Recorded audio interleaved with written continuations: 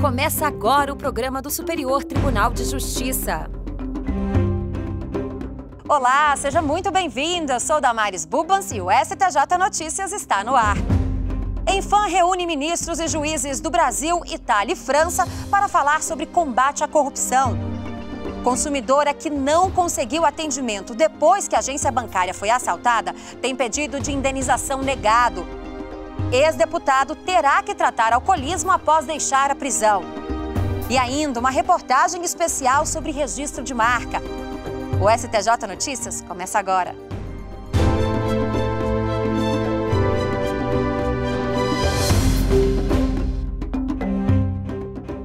Quem nunca procurou por uma determinada marca e encontrou outra parecida? Para evitar esse tipo de confusão, só tem uma maneira: fazer o registro de marca e garantir a exclusividade. Afinal de contas, ela funciona como vitrine do negócio, diferencia o produto ou serviço e é por meio dela que a empresa é lembrada. Na reportagem especial desta semana, você vai entender a importância de se fazer o registro de marca e como funciona esse processo.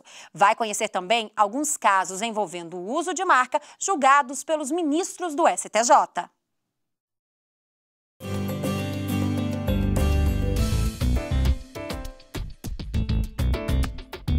Marca, ela diferencia o produto ou o serviço dentro do mercado. Quando um cliente vai em um mercado, vai comprar um produto, um serviço, o primeiro contato dele com a empresa é pela marca. Então ele reconhece o produto, reconhece o serviço pela marca. Palavras, letras, combinações de cores, logos, um conjunto de sinais. A identidade de um produto ou serviço se dá por meio da marca. Para não correr o risco de ver a sua marca sendo usada por outra empresa, o certo é fazer o registro de marca. Isso é feito pelo Instituto Nacional de Propriedade Industrial, o INPI. Eu sou um esperto e vou lá e registro várias marcas e aí depois que elas uh, que os produtos comecem a, começam a fazer sucesso no mercado, eu vou lá e, e, e faço algum tipo de ação uh, em, com o proprietário daquela empresa. Então, para evitar a reserva de mercado, você precisa estar uh, desempenhando licitamente aquela atividade. É, mas isso aí, logo após a constituição da empresa, pode ser providenciado. O processo de registro de marca é todo eletrônico. Após fazer uma pesquisa no site do INPI e constatar que a marca não foi registrada por outra pessoa, o empreendedor fará um cadastro junto ao INPI e solicitar o serviço de registro de marca. Depois de pagar a taxa de 355 reais, vai ser liberado o acesso ao sistema e-marcas, onde o empreendedor deverá preencher os dados e anexar imagens e logo, se for o caso e enviar o protocolo com o pedido. Se o pedido for aprovado, o empreendedor vai pagar a taxa de concessão de marca, no valor de 745 reais. O registro vale por 10 anos, tempo em que o empresário poderá utilizar a marca. Após esse período, é preciso renovar o registro. E vale lembrar que todo esse processo leva em média oito meses. A gente tem que ver se essa marca causa confusão com outras marcas já existentes. Então, por isso que é um processo de análise é, que não é automático, passa pelo, pelo crivo de um especialista em marcas e vai verificar se, se tem colidências com outra marca brasileira, justamente para ter uma coisa que se chama segurança jurídica. E para evitar esse tipo de confusão, a rede internacional de sanduíches McDonald's entrou com um pedido na justiça para cancelar o registro da marca McDouro, de uma empresa especializada na venda de castanhas. No recurso especial aqui no Superior Tribunal de Justiça, a rede afirmou ser dona de diversas marcas formadas pelas expressões Mac, como Big Mac e McDonald's, o que lhe daria o direito de impedir o uso da marca McDouro por imitação dos sinais distintivos.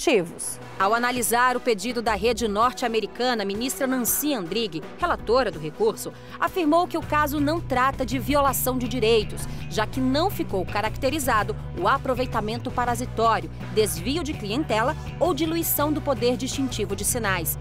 A ministra lembrou ainda que para configurar violação de marca é necessário que o uso dos sinais distintivos causem confusão no público consumidor ou associação errônea, gerando prejuízo ao titular da marca supostamente usurpada. Diante dos argumentos da relatora, a terceira turma rejeitou o pedido da rede McDonald's. A questão da indenização nas marcas especificamente, ela é presumida. Se presume que ao usar uma marca de outra pessoa, você está causando danos materiais e morais para ela, que vão ser apurados no caso concreto. A exclusividade do uso da marca Ering foi motivo de disputa na justiça durante anos. A Lojas Ering SA buscava o direito exclusivo da marca, alegando que na separação legal das empresas em 1950, a marca teria ficado sob sua tutela, o que não foi respeitado pela companhia Ering. O caso chegou ao Superior Tribunal de Justiça, onde o ministro relator Vilas Boas Cueva reconheceu o registro da marca feito pela companhia Ering em 1952, o que afirmou ser incontestável. O relator lembrou que, na época, a legislação previa cinco anos para contestação dos registros, período em que não houve oposição. Os ministros seguiram o voto do relator e a terceira turma reconheceu a companhia Ering como real detentora do direito sobre a marca e sobre o sinal figurativo caracterizado por dois peixinhos. Mas a preocupação com o uso da marca não pode ser apenas de grandes empresas. Hoje a gente vê que vários pequenos empresários, eles têm uma, uma marca, mas essa marca não está registrada. Então, assim, a gente vê que a taxa de pequenos negócios que buscam registro é, é aquém do que gostaríamos. Três a cada quatro pequenos negócios no país têm um nome fantasia e a maioria com logomarca própria. Uma pesquisa realizada pelo Sebrae com 4.002 empresas apontou que apenas 19% dos empreendedores registraram suas marcas no INPI. 81% deles não fizeram um pedido de regularização do uso de marca. Os motivos são vários.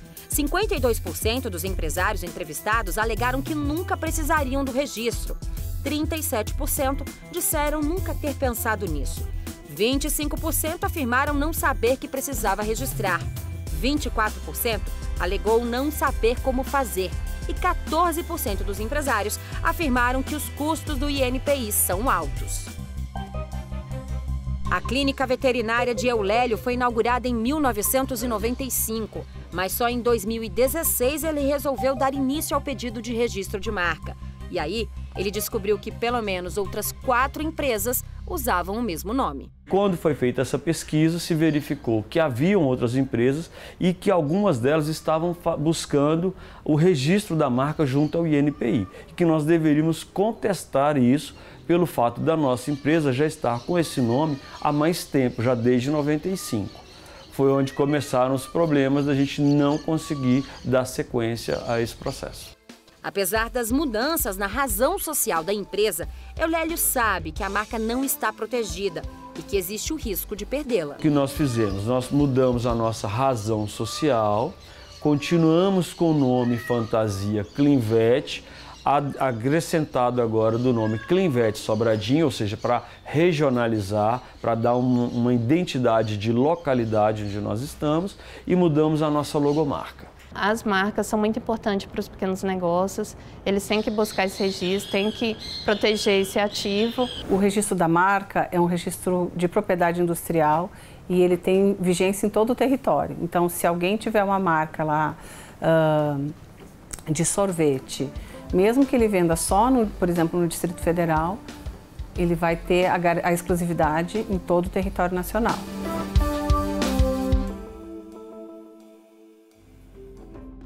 Demora na retomada de atendimento em agência bancária não gera dano moral. Os detalhes depois do intervalo. Não saia daí.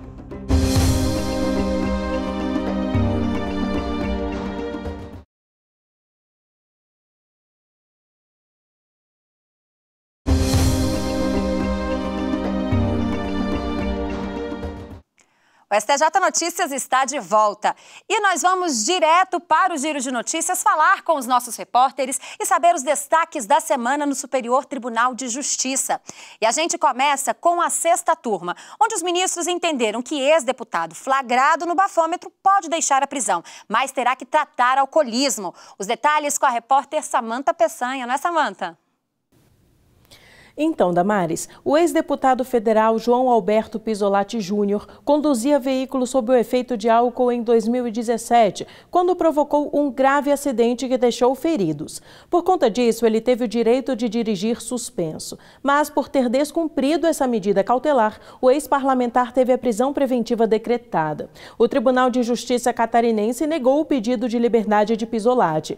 No recurso aqui ao STJ, a defesa do réu alegou que o ex-deputado só descumpriu a medida cautelar porque precisou socorrer a filha durante uma crise asmática e que ele sofre de alcoolismo e depressão. O ministro Nefe Cordeiro, relator do caso no STJ, destacou que ao manter a prisão preventiva, o juiz de primeiro grau apontou que no momento da crise asmática, o ex-parlamentar teria levado a filha não ao hospital mais próximo, mas a uma cidade vizinha, o que teria gerado estranheza quanto à alegada emergência médica. Entretanto, para Nefe Cordeiro, o processo não indica a necessidade de manter o decreto de prisão. Os ministros aqui da sexta turma concederam habeas corpus ao ex-parlamentar para substituir a prisão preventiva por outras medidas cautelares, entre elas a obrigação de se internar em clínica para tratamento psiquiátrico e de alcoolismo. É com você, Damares. Obrigada, Samanta. E ainda na sexta turma, os ministros decidiram que prazo de prescrição não é suspenso durante o cumprimento da transação penal. Quem explica pra gente é o Jesus Mosquera.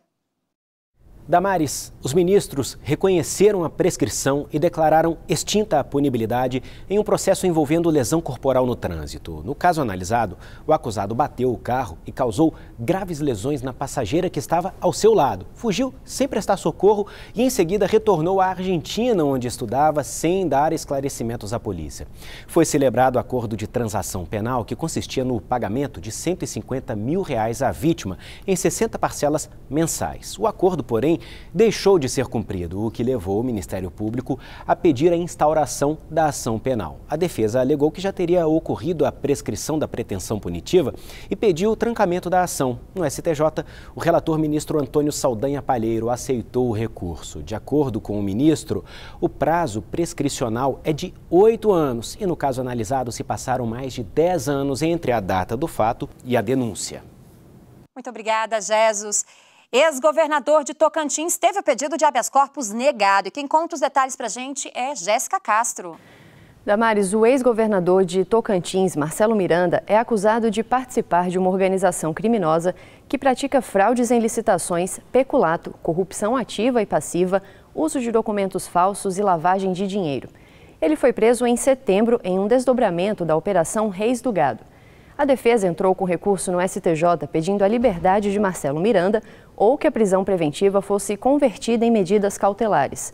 Foi pedido ainda que o processo fosse julgado pela Justiça Eleitoral, porque um delator informou que parte do suposto dinheiro desviado foi destinado à campanha eleitoral. Mas o ministro Reinaldo Soares da Fonseca, em decisão monocrática, negou o pedido. Ele explicou que o STJ não pode apreciar as alegações da defesa porque poderia incorrer em indevida supressão de instância, já que o caso ainda não teve o mérito analisado pelo Tribunal de Origem, o TRF1. Assim, o processo volta para o TRF1 para análise dos argumentos da defesa. Muito obrigada, Jéssica. Obrigada a todos. Eu vejo vocês no próximo Giro de Notícias, ok? Consumidora tem pedido de indenização negado por falta de atendimento depois que a agência bancária foi assaltada. A terceira turma do STJ negou o pedido de indenização de danos morais para uma cliente por causa da demora na volta do atendimento integral em uma agência do Banco do Brasil em Riachão do Dantas, em Sergipe, que foi fechada após ter sido destruída parcialmente durante um assalto. Em 2015, a agência foi invadida e teve parte do prédio e dos terminais eletrônicos explodida pelos bandidos. Após ficar fechada para reparos por alguns dias, a agência foi reaberta. Porém, uma série de transações permaneceram indisponíveis por vários meses por falta de segurança pública, segundo justificativa do próprio banco. Na ação, a cliente alegou que a agência era a única de Reachão dos Dantas e os correntistas foram obrigados a se deslocarem para outros municípios. Por isso, ela queria 25 mil reais de danos morais. Após ter o pedido negado em primeiro e segundo graus, a cliente recorreu ao STJ, argumentando que a agência tinha obrigação de indenizar porque ficou mais de 200 dias sem prestar os serviços bancários. A relatora do caso, ministra Nancy Andrighi, seguiu o entendimento do Tribunal de Justiça de Sergipe. Para a magistrada, apesar dos prejuízos gerados pela interrupção parcial dos serviços bancários, não foi demonstrado grave sofrimento ou angústia ao consumidor que caracterizasse dano moral sujeito à indenização. Ministros da segunda turma descartaram a necessidade de laudo antropológico em ação de reintegração de posse sobre terras invadidas por índios no Mato Grosso do Sul. No caso analisado, o proprietário da fazenda ajuizou a ação de reintegração de posse contra um cacique de uma tribo de índios do grupo Guarani Nhandeva que invadiu as terras dele. A fazenda Remanso Guaçu, localizada em Mato Grosso do Sul, foi ocupada em 2004. Em primeira instância, o pedido de reintegração foi aceito, já que o fazendeiro comprovou a propriedade do terreno e os indígenas não poderiam reivindicá-lo. O Tribunal Regional Federal da terceira região, também entendeu que o fazendeiro é dono das terras desde 1977. Mas o Ministério Público Federal, a União e a Fundação Nacional do Índio, FUNAI, recorreram ao STJ, alegando que era preciso produzir um laudo antropológico como pré-requisito para a ação de reintegração. O laudo antropológico verifica a existência de ocupação tradicional indígena sobre determinada área. Os ministros da segunda turma negaram o recurso. Para o relator, ministro Mauro Campbell Marques, a produção do laudo antropológico é descabida, pois abriria a possibilidade de legalizar a invasão. Na mesma decisão, os magistrados não reconheceram a responsabilidade da FUNAI pelos supostos danos causados pelos indígenas na propriedade rural, por entender que eles agiram por conta própria. A Escola Nacional de Formação e Aperfeiçoamento de Magistrados, em parceria com o Conselho Nacional de Justiça, realizou o primeiro curso de judicialização da saúde. O setor hoje é um dos que mais gera ações na justiça. Quando um paciente não consegue atendimento médico ou remédio que precisa, seja na rede pública ou privada, a saída é a justiça. A judicialização da saúde cresceu 130% nas demandas de primeira instância entre 2008 e 2017, segundo pesquisa encomendada pelo Conselho Nacional de Justiça. O que nós do Fórum Nacional buscamos fazer é dar racionalidade à judicialização. Que racionalidade é essa?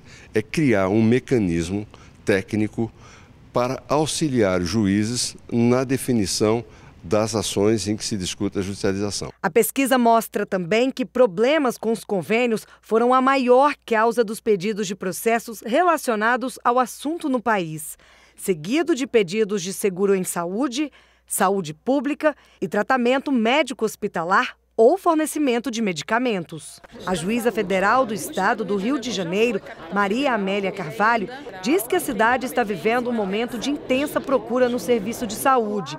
E isso reflete no aumento das demandas judiciais. No momento em que o estado do Rio de Janeiro entrou numa crise financeira muito grave, e não só o estado do Rio de Janeiro, a economia do país como um todo, pessoas que passaram a abandonar a saúde suplementar e procurar o SUS, passaram, se tornaram, portanto, clientes do SUS, fez com que houvesse uma explosão de demandas, porque o sistema simplesmente não suporta, não atende toda a clientela satisfatoriamente. A chefe de gabinete da Secretaria de Atenção à Saúde do Ministério da Saúde disse que soluções estão sendo debatidas para diminuir as filas de espera. Normalmente, o que acontece é que o mesmo doente se encontra em várias filas. Então, a primeira providência na gestão de fila é conhecer, levantar, limpar, como a gente fala no, é, no dia a dia, de maneira que se possa definir fila e, portanto, torná-la conhecida e transparente. Depois do intervalo, ministros e juízes do Brasil, Itália e França se reúnem em evento que discute o combate à corrupção e os desafios do juiz criminal. A gente volta já.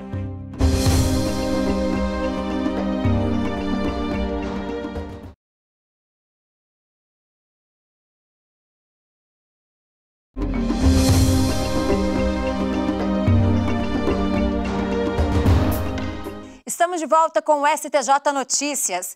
Encontrar soluções para enfrentar desafios diante da realidade atual do Judiciário e discutir um programa de metas para as corregedorias. Esse foi o objetivo do segundo Fórum Nacional das Corregedorias, realizado pelo Conselho Nacional de Justiça por meio da Corregedoria Nacional da Justiça. O público-alvo foram corregedores da Justiça Federal, da Justiça do Trabalho, da Justiça Militar, da Justiça Eleitoral e da Justiça Estadual, além de juízes auxiliares. Ao final do encontro, foi apresentada uma carta com as propostas de metas. O documento diz que as corregedorias se comprometem a adotar o sistema PJ-ECOR para os pedidos de providências, atos normativos, representações por excesso de prazo e procedimentos de natureza disciplinar, evidenciar esforços para concluírem os procedimentos investigatórios de sua competência, bem como investigações preliminares, sindicâncias e similares contra magistrados no prazo razoável de 60 dias, regulamentar a realização de inspeções, correições ordinárias presenciais em todas as unidades judiciais envidar esforços para concluírem os relatórios de inspeções e correições no prazo de 30 dias, regulamentar a autoinspeção ordinária anual das unidades judiciárias, supervisionar os tabelionatos e ofícios de registro previstos no artigo 2 do provimento 88 de 2019,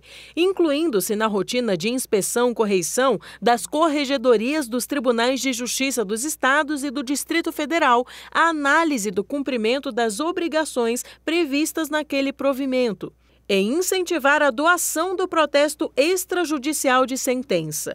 As corregedorias estão atentas no acompanhamento com relação à presença dos juízes, o comportamento dos juízes com relação à jurisdição, porque é muito importante a presença do juiz, do juiz para ter uma efetividade com relação ao julgamento dos processos. Ministros e magistrados do Brasil, Itália e França se reuniram para participar do primeiro curso nacional sobre corrupção e os desafios do juiz criminal. A Escola Nacional de Formação e Aperfeiçoamento de Magistrados, a Infam, promoveu um encontro para discutir a corrupção sob o âmbito do direito penal. O primeiro curso nacional, Corrupção e os Desafios do Juiz Criminal, é destinado a 100 magistrados federais e estaduais. O evento contou com a presença de vários ministros do STJ, do ministro da Justiça e também magistrados da Itália e da França, que trocaram experiências sobre o sistema judiciário e o combate à corrupção nos diferentes países. O Brasil, de algum tempo para cá, iniciou uma revolução no seu sistema criminal no estudo do direito penal, na adoção de novos institutos, no aprimoramento da sua legislação, da concretização de novos princípios, de novos institutos, tem sido a, a, o ponto crucial da revolução que nós estamos fazendo no direito penal brasileiro. Cooperação jurídica internacional, colaboração premiada, prisão cautelar direitos humanos, transparência e integridade foram alguns dos temas debatidos pelos participantes. Hoje nós não temos apenas a criminalidade de rua para julgar. Nós temos hoje crimes contra a administração pública, crimes decorrentes de organizações criminosas. E nós, muitos de nós talvez, aqueles mais antigos como eu, não tivemos nas universidades uma formação direcionada a esse tipo de criminalidade. Portanto, temos de nos adaptar e utilizando o direito penal e o direito processual penal com uma, um necessário olhar com essas novas possibilidades e novas exigências que esta criminalidade chamada de colarinho branco nos impõe é, desenvolver. É um desafio, não o enfrentamento da grande corrupção. Ela gera reações, muitas vezes ela envolve indivíduos poderosos, muitas vezes uh, mudar práticas culturais arraigadas de apropriação do patrimônio público é muito difícil. O Superior Tribunal de Justiça promoveu o seminário 30 anos da Convenção sobre os Direitos da Criança. O evento buscou conscientizar a sociedade em relação à responsabilidade quanto à proteção dos direitos das crianças e dos adolescentes Representantes do Judiciário, do governo federal e de organizações não governamentais estão discutindo os avanços da legislação e a jurisprudência relacionada ao assunto e buscando maneiras de lidar com antigos e novos desafios. Quando a gente começou a trabalhar, a gente buscava o enfrentamento de três tipos de violência: violência sexual, violência física e psicológica. Hoje nós temos uma quarta violência, que é a violência autoinfringida. Raramente você vai numa, não vai, vai numa escola que não tem vários casos de automutilação. Percebi que a população brasileira era muito carente de informação. Né? Existe o conhecimento científico dos especialistas e existe é, uma grande lacuna entre o que os especialistas sabem e o que a população brasileira sabe sobre direito da infância e da adolescência. O artigo 227 indica que família, sociedade em geral e o Estado, esses três eixos devem empreender os seus melhores esforços no sentido de prover de dar ensejo à concretização de toda aquela série de direitos previstas nesse mesmo artigo 227, que estão em absoluta harmonia com também o rol de direitos previstos na Convenção Internacional sobre os Direitos das Crianças. Além de ser um dos 196 países que aderiram à Convenção Internacional, o Brasil deixou bem claro na Constituição Federal. Garantir os direitos da criança é dever do Estado, da família e de toda a sociedade. Por isso, os organizadores do seminário também querem sensibilizar os participantes sobre a importância do trabalho voluntário. Tem muito trabalho bom sendo feito que ele também tem diversas formas de participar, seja pela Lei Rouanet, seja participando como voluntário mesmo, se é um contador de história, se está envolvido com educação, se gosta de esporte, as portas estão abertas para esse tipo de voluntário também. O presidente do STJ lembrou que essa missão está prevista também no Estatuto da Criança e do Adolescente adolescente e no marco legal da primeira infância, que reforçaram as obrigações contidas na Convenção Internacional. É o acordo internacional de direitos humanos mais ratificado em toda a história. Por isso, considerado instrumento de solidariedade internacional sem precedentes. Seus 54 artigos tratam do compromisso dos Estados signatários de proteger as crianças, contra a discriminação, a exploração, o abuso e a violência. O STJ Notícias dessa semana está chegando ao fim. No próximo programa eu volto com mais informações e novas decisões do Tribunal da Cidadania. Mas você pode acompanhar tudo o que acontece no tribunal diariamente pelas redes sociais e também na página do STJ na internet. Acesse lá. Eu fico por aqui. Obrigada pela companhia e a gente se encontra na semana que vem. Eu espero você. Até lá.